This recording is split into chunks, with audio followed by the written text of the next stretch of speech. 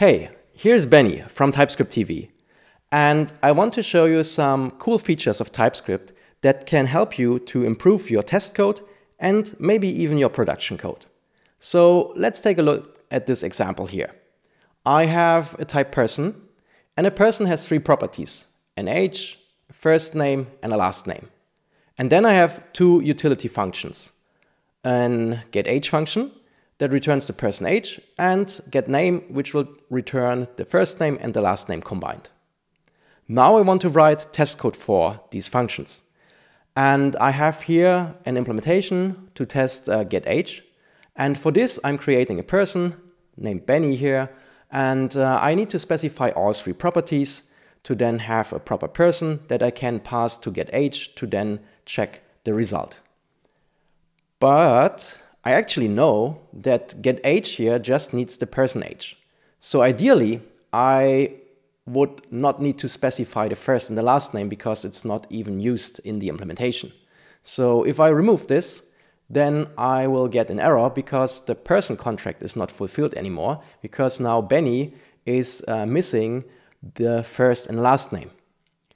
This can be um, a bit tricked because I can use a type assertion. Yeah, instead of a type annotation, I use a type assertion and I say as person, and then Benny is being recognized as a person, even though it's missing these two properties, and then I can pass Benny into getAge and everything is fine. That's already cool, but I'm also like uh, overwriting here the behavior, right? I'm telling TypeScript, uh, hey, don't trust yourself, trust me, this is a person. So how can I solve this differently? Well, ideally I would not need this type assertion here and I would just have it like this. But then I'm getting an error, yeah, because it's not the proper person anymore. So since I have control over the implementation, I can make use of a utility type. And the utility type that I want to make use of here is called pick because with pick, I can define from which type I want to pick what properties. Yeah, so I can pick here a set of properties from the person. And I'm picking just the age because that's all that is being needed here. And then my test code will work.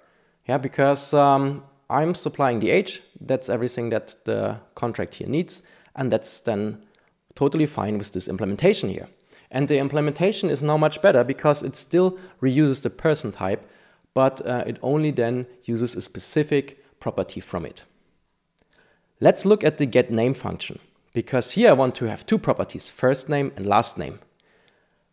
Luckily, with the pick, I can supply multiple properties. So I can also use a union here. Yeah?